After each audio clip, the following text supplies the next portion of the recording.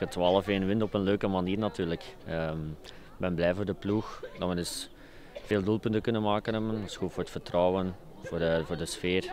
Die zat al goed, maar het is toch altijd leuk om, om een wedstrijd zo uh, af te sluiten. Uh, we hadden misschien Heist iets sterker verwacht. Uh, maar ja, het is nu zo. En we moesten ons eigen ja, opleggen om zo hoog mogelijk niveau te halen. Ja, het was heel moeilijk om tegen zo'n ploeg te spelen. maar toch, ja, ik weet, ja, ik weet niet juist de stand hoeveel dat was. Ik weet dat het veel was.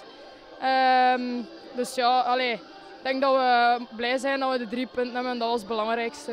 Uh, ja, ik kan maar één ding zeggen over de spelers en dat is dat chapeau dat blijven inzetten hebben. We wisten dat het heel moeilijk ging zijn. Dat ja, Linsijnhoven voor ons sowieso een verlies was als we, als we ze niet in de goal staan hebben. Maar ze hebben allemaal hun best gedaan. Ze hebben allemaal ervoor gewerkt. En ik kan er, ik kan er helemaal fier op zijn. Ik persoonlijk, ik wist dat we hier zelf niks zouden gaan rapen. Dus nogmaals, we hebben hier ons best gedaan. Maar als we geen kip, kipper in de wol hebben staan, is dat natuurlijk altijd moeilijk.